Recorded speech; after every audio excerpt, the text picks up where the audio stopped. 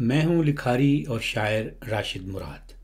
تعارف آپ سے کروانا ہے اپنے پروگرام کھریاں کھریاں کا۔ بات شروع کرنے سے پہلے ایک مختصر اردو نظم جس میں آپ کو یہ وضاحت مل جائے گی کہ مجھے کھریاں کھریاں شروع کرنے کی ضرورت کیوں محسوس ہوئی۔ نظم کچھ یوں ہے، جن لوگوں نے انہیں زخم دیے، پھر زخموں کو ناسور کیا، میری بستی میں ان لوگوں کی ہے چارہ گری مشہور بہت۔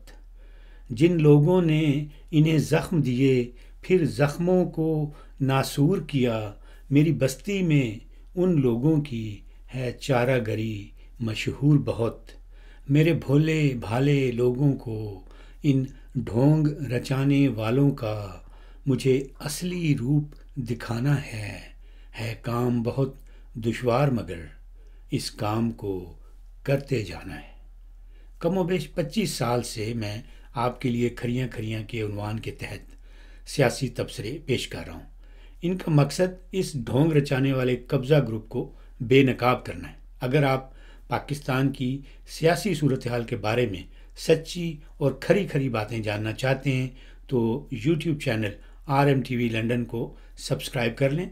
یہاں پر آپ کو سیاسی حقائق شوگر کوٹڈ نہیں ملیں گے بلکہ ان کی اصلی شکل میں نظر آئیں گے۔ آپ جان سکیں گے کہ پاکستان کی معاشی اور سماجی تباہی کے اصل ذمہ دار کون ہیں اور انہوں نے کون سا روپ دھار رکھا ہے۔ ان کا طریقہ واردات کیا ہے؟ یہ سیاستدانوں، ججز، شوبز کے فنکاروں، صحافیوں، کھلاڑیوں اور حتیٰ کہ علماء کو کس طرح اپنے پروپیگنڈے کے لیے استعمال کرتے ہیں اور یوں پاکستان پر پچہتر سال سے کبھی اعلانیہ اور کبھی غیر اعلانیہ حکومت کرنے کھریاں کھریاں سے جڑے رہیں اور R M T V London کو ابھی سبسکرائب کر لیں۔ بیل آئیکن بھی کلک کریں تاکہ کھریاں کھریاں کے نوٹیفیکیشن آپ تک پہنچتے رہیں۔ رب رکھا